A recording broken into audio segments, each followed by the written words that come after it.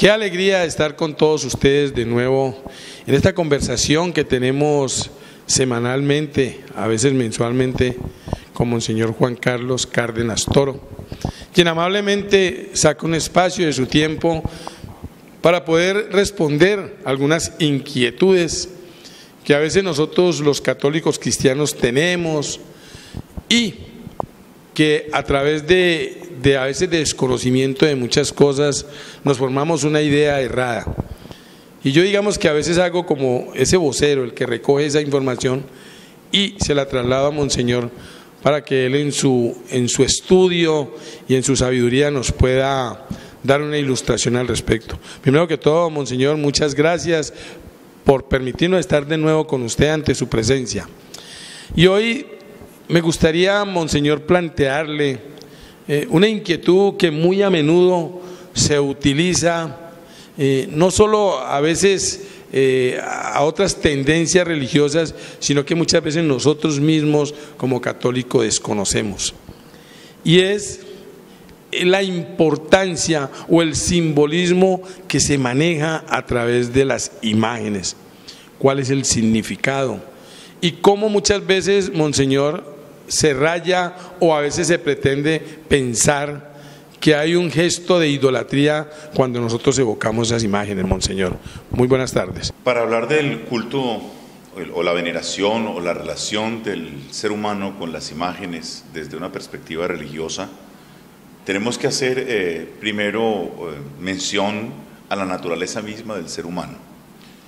El ser humano es por naturaleza religioso, es un ser religado con las realidades sobrenaturales. Desde los primeros seres humanos eh, que se tiene eh, conocimiento que existieron sobre la tierra, se encuentran vestigios de su relación con lo sobrenatural y de cómo trataban de representar eh, esas imágenes, digamos, que se formaban en su mente o esas experiencias religiosas de lo que en ese momento primitivamente, a lo que primitivamente le atribuían poderes divinos, pues lo representaban a través de imaginería. Ya lo vemos, por ejemplo, en las pinturas rupestres, ¿no?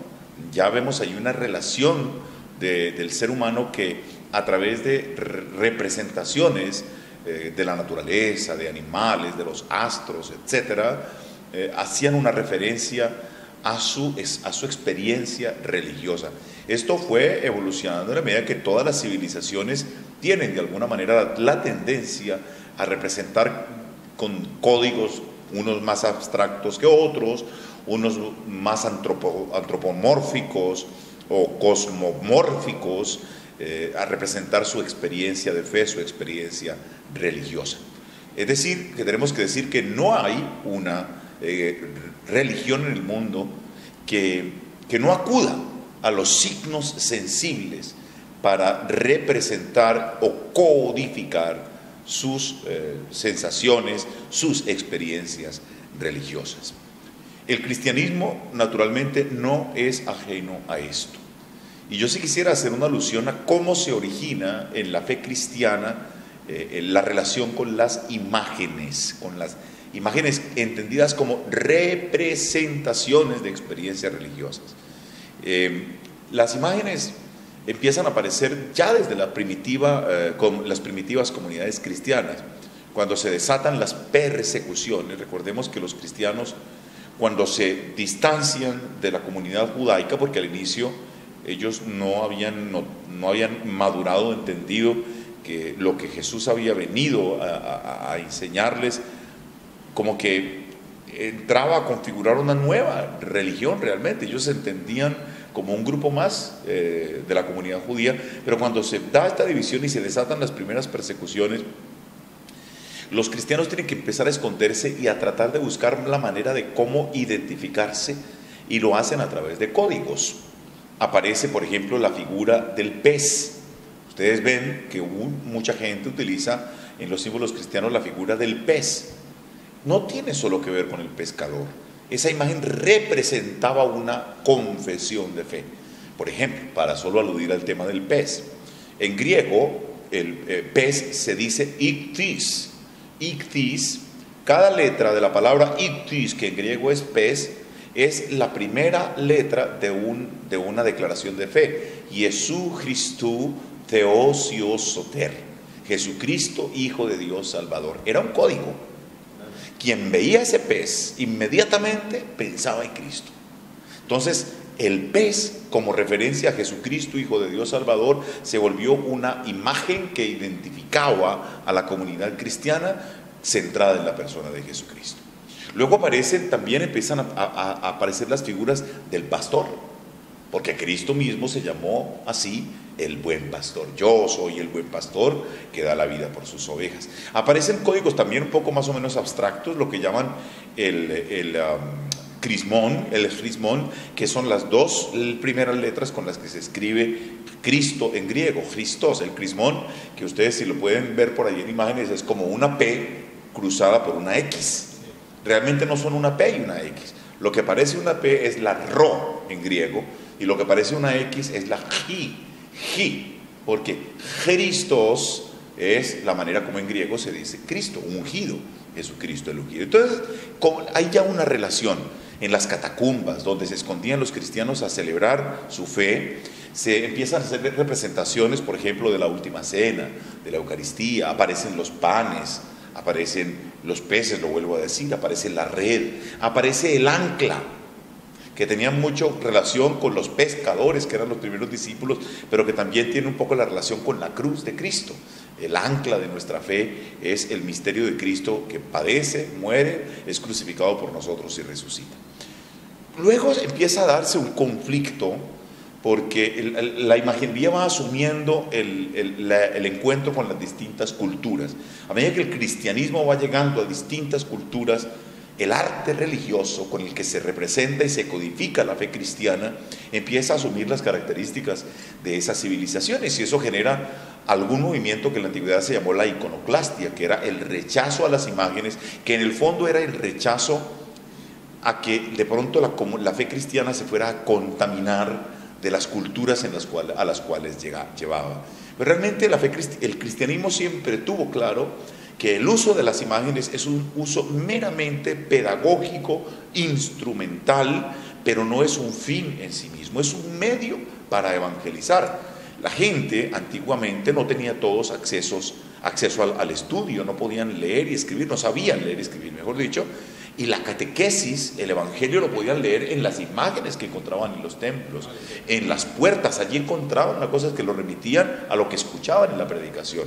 Entonces era un complemento, como hoy en día tenemos las diapositivas, como hoy en día tenemos el recurso a la tecnología con el cual podemos también ayudar al conocimiento de la fe a mucha gente. Entonces las imágenes son un instrumento para mm, visibilizar la experiencia de fe y los elementos y aspectos fundamentales de una, de una fe religiosa. Mm, luego también, a partir de las devociones, empiezan a aparecer también las imágenes de los santos porque era la manera de referenciar a través de un signo a un, hermano en la fe que había tenido el valor de, de, la fidelidad a Dios hasta la muerte, ¿no? Por ejemplo, el martirio. Entonces, a través de la imagen, no era la imagen, a través de la imagen, los creyentes evocaban a aquel santo que los animaba también a ellos a aspirar a su propio camino de santidad, a no renunciar a una vida de santidad. Entonces, en ese sentido, la imaginería religiosa tenemos que entenderla como medio de evangelización, pero también como una expresión normal y natural de visibilizar nuestras creencias y nuestras devociones que nos remiten a las realidades invisibles. También las imágenes de Jesús y de la Virgen María simplemente nos recuerdan aspectos o características de esos eh, de Jesús, pues que es el autor y consumador de nuestra fe y de la, Santísima Virgen María que es nuestra madre. El arte nos eh, evoca, por ejemplo, pensemos en una imagen, la imagen de Jesús pastor cargando la ovejita, que hay de tantas características y con tantas variables nos ayudan a entender la ternura de Dios que siempre nos lleva en sus brazos, que no permite que se le pierda ninguna de sus ovejas, que va en busca y lo arriesga todo por ellas, que no quiere que ninguno... Eso es lo que le hace pensar a uno.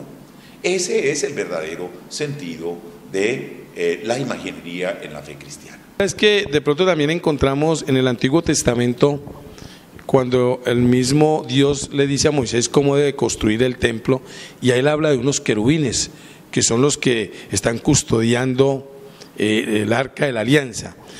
Pero ¿en qué momento, Monseñor, se pierde el concepto de venerar a idolatrar? El concepto de la idolatría eh, entra a la fe, al cristianismo a través del judaísmo, naturalmente, el judaísmo que es esa primera religión monoteísta. Recordemos que eh, la gran novedad en Oriente que aporta el judaísmo es la experiencia de un Dios único, del único Dios, por eso monoteísmo, un solo Dios, pero alrededor sus distintos pueblos vecinos practicaban el politeísmo o el panteísmo, que es ver a, Dios en todo o hacer de todo Dios, eh, o, el animismo, que era entender que cada cosa de la realidad tenía un, como su propio Dios, un ánima, un alma que lo, que lo animaba. ¿no? Entonces, eh, pues obviamente que los, los judíos empiezan un proceso de purificación de esas influencias culturales vecinas para mantener viva su fe en el único Dios. Entonces, eh, eh, las civilizaciones que habían alrededor, obviamente, su fe religiosa la materializaban o la expresaban a través, mm, qué sé yo, de un árbol, a través de una montaña, de un volcán, del sol, de la luna, de la lluvia, bueno, de muchísimas maneras. Luego, como lo decía hace también un momento, de imágenes un poco más abstractas, un toro con alas, eh, etc. Bueno, eran determinadas maneras de representar sus divinidades. La fe judía en esa lucha empieza una cosa que se llama la iconoclastia, que es el, el rechazo de las imágenes, pero era para proteger proteger la fe en el único Dios, para que el pueblo judío no terminara confundido con la manera como expresaban y vivían su fe sus vecinos, que realmente terminaban muchos de ellos por entender o por casi que hacer de la imagen misma que había allí su Dios. Monseñor, hay algunos aspectos de lo que se llama idolatría, y a veces las palabras también son idólatras. Yo quisiera que usted de pronto nos ilustrara al respecto, que hoy en día es muy común utilizar la palabra yo decreto, yo declaro, yo profetizo, siempre el yo. A mi humilde concepto, no siendo un conocedor, son palabras idólatras, porque nuestros abuelos decían mediante a Dios, si Dios lo permite. Yo decreto, pero qué tal que Dios no quiera. Entonces, ilústrenos al respecto, ¿cómo sería ese manejo de esas palabras para no caer en la idolatría? Tenemos que decirlo con claridad que ese tipo de lenguaje tiene un origen protestante, eh, que ha influenciado también, eh, digamos, el lenguaje de algunos movimientos y grupos de, naturaleza católica. Mm, ciertamente, mm, decir yo declaro, decir yo tal cosa, tiene su fondo en algo que se conoce como la teología de la prosperidad. Y es creer que si yo mm, eh, le entrego mi vida a Dios, Dios me hace prosperar. Es decir, mi vida incluso va a tener una mejoría en términos materiales. Y eso es posible, es posiblemente verdadero que, mucha gente le cambia también, eh, o sea, si cambia su, su relación con Dios, eso tiene un impacto en su realidad eh, afectiva, en su rendimiento profesional, en laboral, etc. Pero no necesariamente ese es un indicador absoluto de que Dios está conmigo. Porque entonces, ¿cuánta gente conocemos que es muy pobre, que es muy, eh, de muy escasos recursos económicos, pero todos los días se esfuerza por cumplir la voluntad de Dios y vive una armonía profunda con Dios. Entonces a ese Dios lo está despreciando, sus oraciones no son tan válidas como la del otro. Entonces creo que eso lleva a comparaciones muy tristes, odiosas y, que desfiguran realmente lo que significa la relación con Dios. Realmente eh, la relación con Dios tiene que ser un abandonarnos en Él, un confiarnos a sus, a sus influencias, a su voluntad, un dejarnos guiar por Él, un decir como dijo Jesús en la noche, en la víspera de su pasión, en el, en, el huerto de los olivos, si es posible que pase de mí este cáliz, pero que no se haga como yo quiero, sino como quieres tú. Realmente eh, la actitud verdaderamente mm, humilde de relación con Dios es pues bueno, yo humanamente quisiera esto, yo humanamente quisiera aquello, pero que no se haga como yo quiero, sino como quieres tú. Yo no puedo presionar ni obligar a que Dios, eh, es decir, o porque simplemente yo puedo decir, yo declaro tal cosa, ¿cierto? Yo declaro prosperidad para mi vida y paso 10 años y no llega prosperidad, entonces Dios no existe porque no, no me llegó la prosperidad. No hagamos depender nuestra relación con Dios del exitismo, del éxito, el éxito en términos materiales. El Papa Benedicto XVI decía, éxito no es el nombre de Dios, porque Dios actúa desde lo humilde, desde lo pequeño, a veces de manera imperceptible, pero muy eficaz y eficientemente. Entonces, claro, el lenguaje se puede volver idólatra, pero yo diría inclusive no solamente idólatra, sino arrogante y pretencioso cuando nosotros decimos esto se hace como sea, o esto se hace y no por encima, ni Dios me para en esto, ¿no? Hay gente que ya incluso habla en esos términos, pues son términos ya, ya que rayan con la blasfemia, ¿no? Ponernos nosotros incluso en el lugar, erigirnos en, en, dioses, ¿no? Realmente es el endiosamiento del yo, el endiosamiento del yo. Entonces uno tiene que cuidarse mucho. Yo pues no, no, no, no, no diría tan, tan absolutamente el tema de, porque a veces se origina más también en una, en una mala vivencia de, una relación con Dios, el famoso yo declaro tal, o por influencias externas, pero que realmente hay un criterio para, para, para, para, relacionarse con Dios y es la humildad. Ante Dios nos paramos como hombres y mujeres humildes. O sea, con, con seguridad, claro que sí es con seguridad, pero es la seguridad humilde, confiada en Él. No es la seguridad arrogante, prepotente. Ese es el criterio que uno debe tener cuando se refiere a Dios, cuando habla con Dios, cuando le pide a Dios o inclusive cuando cree que Dios va a escuchar sus plegarias. Finalmente, yo podría concluir humildemente que al Señor no se le exige, al Señor se le ruega, al Señor se le suplica, al Señor no se le reta, al Señor se le clama, porque a veces hay actitudes nuestras en nuestro lenguaje que pueden ser ofensivas para Dios. La palabra no tiene poder. A veces por casualidad suceden las cosas. Todo el poder es absolutamente de Dios. Todo lo que uno le pueda pedir, Dios es el que decide y en qué tiempo.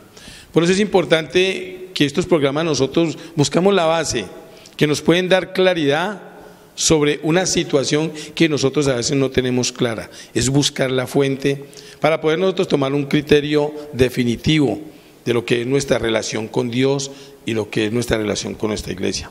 Monseñor, muchas gracias. Me gustaría que de pronto usted un mensaje final a todos nuestros amigos que nos siguen por CNS Jumbo Canal 22.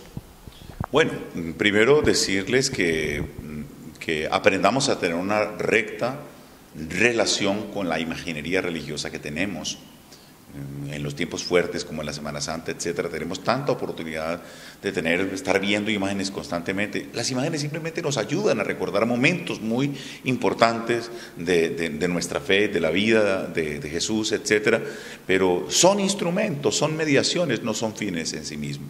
Eso sería lo primero. Lo, segundo, eh, reflexionemos la manera como hablamos, el lenguaje que tenemos para con Dios y para con nuestros semejantes.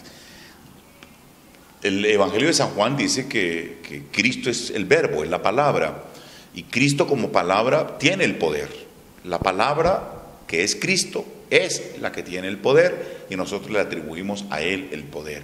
Ahora, podemos decir indirectamente que nuestra palabra sí tiene poder en el sentido de que como expresión de una mentalidad o una actitud nos condiciona. Si yo vivo diciendo me estoy muriendo, no sirvo para nada, estoy perdido, pues me estoy diciendo a mí mismo, usted no sirve para nada, usted vale. Pues en ese sentido tiene el poder de, terminarme autoconvenciendo de algo que no, que no es.